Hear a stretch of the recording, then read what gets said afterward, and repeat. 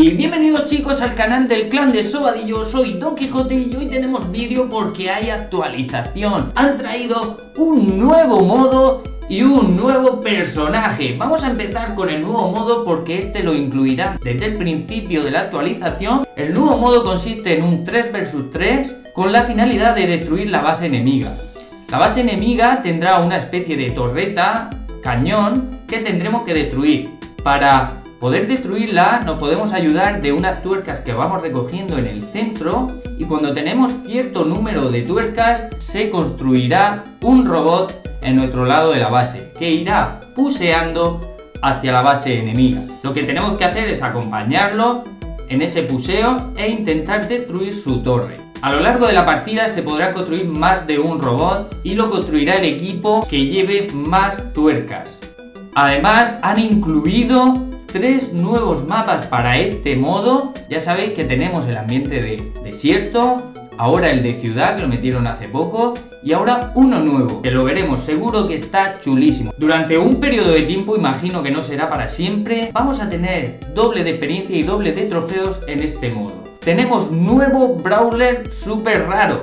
Vamos a poder sacarlo con facilidad, ya que no es ni legendario, ni mítico, ni nada. Vamos a hablar un poquito de él. Su ataque principal consiste en una especie de boomerang que lanza y vuelve. Imagino que hará daño a la ida y a la vuelta, ya que su Star Power consiste en acelerar ese movimiento, el movimiento del ataque principal. La Super consiste en que el campeón comienza a girar y hacer daño en un rango más bien pequeño. Nos puede servir esta habilidad para escapar o para atacar. Este nuevo Brawler pinta muy bien, parece ser que va a ser un atacante de rango, pero además tienes ese ulti que te puede ayudar a escapar o a hacer mucho daño en área. Hablamos ahora de los buffs. Tenemos a Barley, que le suben el daño de ataque principal y también de la super. Se lo suben de 640 a 680. Este personaje necesita que lo suban un poco porque desde que le cambiaron el ulti yo ya no sé en qué mapa meterlo. Vamos a hablar ahora de Bob. Su principal, su ataque principal lo suben de 480 a 500. También le hacía falta un pequeño buff como el que le han hecho. Jenny, el genio, nuestro nuevo genio lo han tenido que bufear porque se ve que lo han sacado un poco flojo. La Star Power ahora cura un poquito más y la Super atraviesa muros. Estos son los dos datos más importantes de él, han sacado alguno más.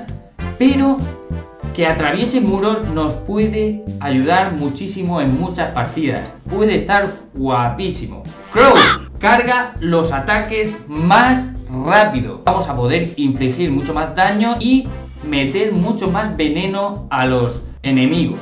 Pan ahora carga sus ataques más rápido, lo han subido de 1,2 segundos a 1,3. Es un poquito, es un pequeño buff. Y pasamos a los nerfs. León han bajado el daño de mi queridísimo león que he estado empezando a usar ahora porque me había salido hace poco de 460 a 440 y para cargar su ulti necesita un shuriken más. Es decir tiene que atacar con 9 shurikens para que se le cargue el ulti. Mortis. Mortis se cura ahora un poquito menos de 1800 a 1400 son 400 puntos de vida menos. Darry, ahora tarda un poquito más en cargar la ulti, ya sabéis que carga la ulti sin tener que atacar a los enemigos, pues de cargarla en 20 segundos, ahora la carga en 30 segundos. Chicos, también han hecho algunos cambios en los modos de juego, por ejemplo, en atraco, la caja que tenemos que romper. Ahora tiene un poquito más de vida, de 36.000 puntos de vida a 40.000. En supervivencia, las setas curativas al final curan menos. Es decir, cuando el círculo ya es muy pequeño, las setas curativas curarán mucho menos. Otro cambio importante es que podemos recoger tanto las gemas, las bebidas energéticas y todos esos power ups los podemos recoger desde un poco más lejos. También tenemos ahora nuevos mapas. En supervivencia tenemos cuatro nuevos mapas. En Atrapagemas 7. En Brawl Ball 1. Imagino que será con la nueva temática que van a sacar o que han sacado. Pero lo más chulo es que han metido elementos interactivos. Tal cual lo pone en la actualización. Vamos a ver qué elementos interactivos son esos. En cuanto a efectos visuales, van a cambiar los efectos visuales de algunos personajes como pueden ser Pam, Barley, Penny y Mortis.